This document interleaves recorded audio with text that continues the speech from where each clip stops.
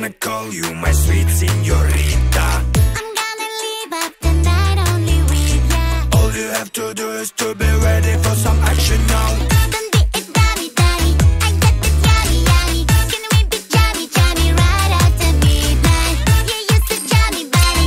You used to body, body. All you have to do is to be ready for some action now. Uno, dos, dos, cuatro,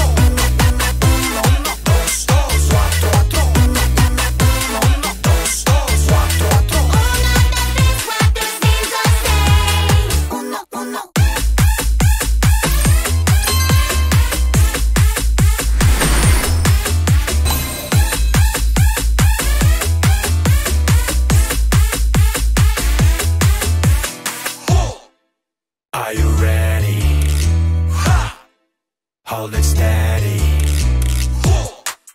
Come to daddy. All you have to do is to be ready for some action now. Don't be a daddy, daddy.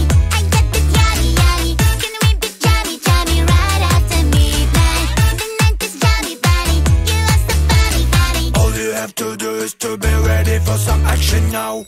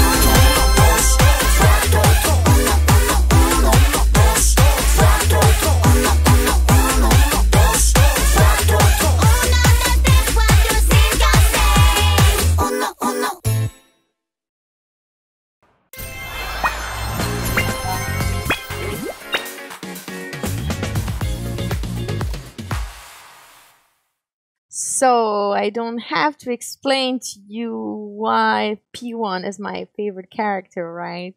Because I love pink! I love everything about Uno. For starter, Skibidi was really not my cup of tea. It was my cup of tea until that very repetitive choreo that was unscorable on Kinect. Now, with Uno, Just Dance managed to surprise me, but in a very good way. This choreo seems to work so well with four people. The thing is, I still never tried it with three other people because, you know, I'm stuck at home, but I really cannot wait to dance it with other Just Dancers, and I think it's already so much fun dancing it alone, so I can only imagine dancing it with three other people. I love the originality of Little Big, and I love how Just Dance put that in their map. This is really a great work, but please, Just Dance team, can you explain us how you did this, this, this drawing characters and stuff because we have behind the scenes of rare and of blinding lights but we want a behind the scene of uno please thank you for listening maybe and thank you guys for watching this video i hope you enjoyed my dance and the performance if so as usual don't forget to put a thumbs up it really helps also a little comment and if you're new to the channel my name is Dina. Click on that subscribe button. See you soon for a new map reaction video. Woo!